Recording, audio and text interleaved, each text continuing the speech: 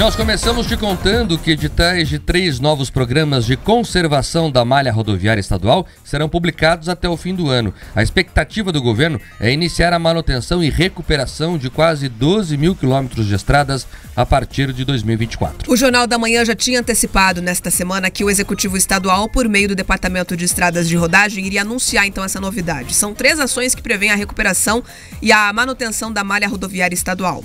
As iniciativas envolvem serviços de tapa-buraco, remendos profundos, limpeza, sinalização e controle de vegetação das estradas.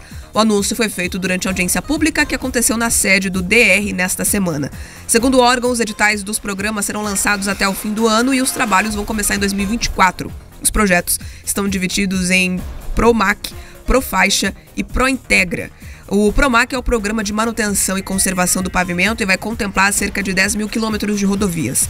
Já o ProFaixa é o Programa de Conservação da Faixa de Domínio e vai acontecer ao longo aí de 11 mil quilômetros de estradas estaduais.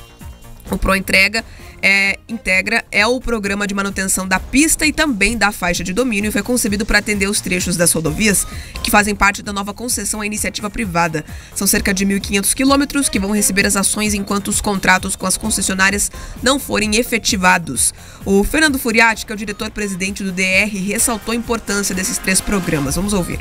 As nossas rodovias precisam de um olhar atento, é o nosso maior patrimônio, nós temos 12 mil quilômetros de malha rodoviária que devem ser mantidos da melhor forma possível.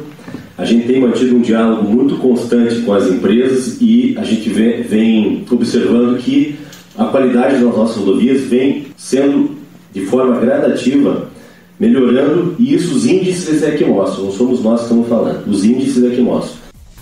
Alexandre Fernandes, que é o assessor do diretor-presidente do DR, reforçou o trabalho que vem sendo desenvolvido nas rodovias estaduais. Desde o ano de 2020, nós iniciamos as contratações para que a gente pudesse fazer uma investigação mais profunda né, na nossa infraestrutura, para que a gente tivesse um novo olhar com novas soluções, que é rodovias mais confortáveis, rodovias com uma condição de conforto né, melhor para os nossos usuários e mais do que tudo que a gente consiga ser essa alavanca para a nossa economia aqui do estado do Paraná, já que nós somos extremamente dependentes do modal rodoviário. Os três programas que tratam da manutenção e recuperação da malha rodoviária estadual ainda podem receber contribuições da população em geral.